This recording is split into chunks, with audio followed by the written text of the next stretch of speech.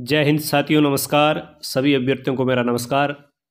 मैं हूँ प्राध्यापक शांतिलाल बिश्नोई और आप देख रहे हैं S L Hindi tricky YouTube channel. साथियों, इससे पहले हम हिंदी व्याकरण से संबंधित आठ अभ्यास पत्र पढ़ चुके हैं। आज हम पढ़ेंगे अभ्यास पत्र नौ और इसमें हम बात करेंगे वर्ण विचार में अल प्राण, महाप्राण, घोष और अघोष के बारे में। तो साथियों, वीडियो पूरा देखिए, लाइक कीजिए और चैनल को सब्सक्राइब ज़रूर कीजिए। आज का पहला प्रश्न है, सभी स्वर होते हैं। सभी स्वर क्या होते हैं? अल्प्राण होते हैं, महाप्राण होते हैं, घोष होते हैं या अ और स दोनों होते हैं। तो साथियों, इस प्रश्न का उत्तर है, द, यानी अल्प्राण भी होते हैं और घोष भी होते हैं। प्रश्न नंबर दो, सभी वर्गों का तीसरा, चौथा और पांचवा वर्ण, य, र, ल, व और है, क्या होते हैं?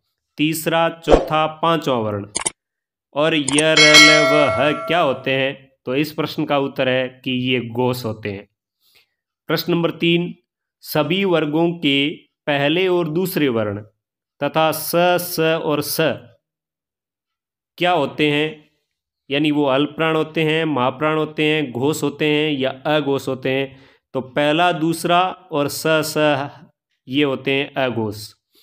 प्रश्न नंबर चार, सभी वर्गों का सभी वर्गों का पहला, तीसरा, पांचवा वर्ण य, र, ल, व और सभी स्वर प्राय होते हैं। तो ये क्या होते हैं? घोष होते हैं या अघोष होते हैं, महाप्राण होते हैं या अल्प्राण होते हैं। तो पहला, तीसरा, पांचवा, य, र, ल, व और स्वर, ये अल्प्राण होते हैं साथियों। प्रश्न नंबर पाँच, सभी वर्गों के दूसरा और चौथा वर्ण और स स स और है प्राय ये क्या होते हैं? तो साथियों, इस प्रश्न का उत्तर यदि हमने पहले वाले प्रश्न में उत्तर देखा है तो ठीक इसका विपरीत है। वहाँ पे अल्प्राण था तो यहाँ इस प्रश्न का सही उत्तर होगा, महाप्राण। दो, चार और स स और निम्नलिखित में से अनुनासिक ध्वनि कौन सी है, जिसका उच्चारण है, वो नाक से होता है। तो जैसे अंग है और आ है। ऑप्शन नंबर जो ए है, वो बिल्कुल सही है, क्योंकि इनके उच्चारण में हमें नाक का सहयोग लेना पड़ता है तो ये अनुनासिक ध्वनियाँ हैं। तो इसके बाद साथियों, प्रश्न नंबर सात आपकी स्क्रीन पर इस प्रकार है। निम्नलिखित में से कौन से वर्ण महाप्राण की श्रेणी में आते हैं? तो हम पहले पढ़ चुके हैं कि दूसरा और चौथा।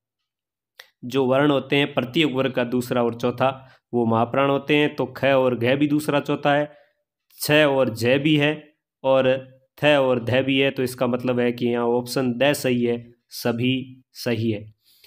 आगे का प्रश्न नंबर आठ स्वर तंत्रियों की स्थिति और कंपन के आधार पर वर्ग वर्णों को कितने भागों में बांटा गया है? स्वर तंत्रियों की स्थिति और कंपन के आधार पर।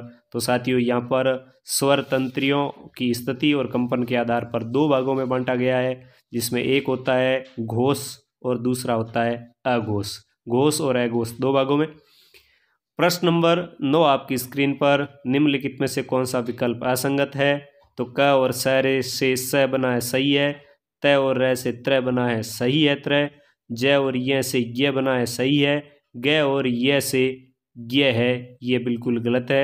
ये मैंने पहले वाले भी अभ्यास प्रश्न पत्र में दिया था, आज फिर दे रहा हूँ, क्योंकि ग का उच्चारण जय और य से होता है, न कि ग और य से। तो यहाँ पे अशुद्ध है ग। साथियों, प्रश्न नंबर दस और अंतिम। श्वास वायु के आधार पर वर्णों को कितने भागों में बांटा गया है? यानी प्रयत्न के आधार पर श्वास वायु के आधार पर तो साथियों, यहाँ पर भी सही उत्तर होगा दो, एक में अल्प प्राण, दूसरे में महाप्राण। स्वर तंत्री और कंपन के आधार पर हमने पढ़ा कि दो भेद वहाँ पर भी होते हैं, घोष और अघोष, और यहाँ पर भी श्वास वायु के आधार पर भी अल्प प्राण और महाप्राण। तो साथियों, कैसा लगा वीडियो? कमेंट ज़रूर करें, वीडियो को लाइक करें, चैनल को सब्सक्राइब करें। मिलेंगे किसी और ज्ञानवर्धक जानकारी के साथ तब तक जय हिंद।